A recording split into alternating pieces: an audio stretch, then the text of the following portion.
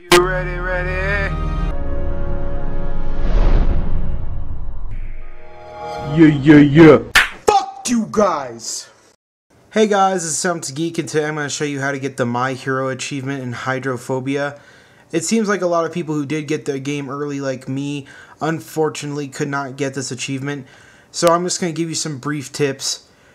Don't let go of the analog stick. One to two seconds is crucial to getting this achievement. Timing is everything. Don't let go of the analog stick. Run and you're going to want to master the controls before you do this. You're going to, you know, Y up, jump on the bar, drop immediately with B, then just run. Just run towards the thing. You're going to want to know right away to aim for the back left hand corner of the room where he's trying to break out.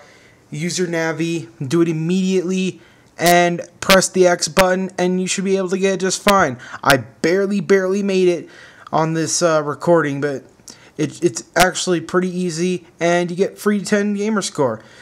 So just learn to time it right, and you got the achievement. Sam out.